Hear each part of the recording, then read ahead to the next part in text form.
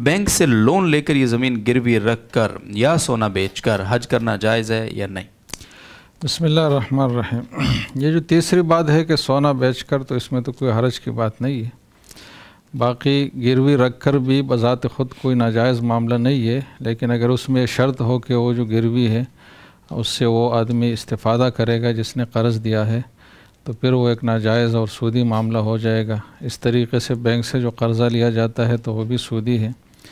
तो हज के लिए सूदी कर्ज़ा और सूदी मामला करना एक नाजायज़ अमल है, ऐसा नहीं करना चाहिए और एक हराम इकदाम है।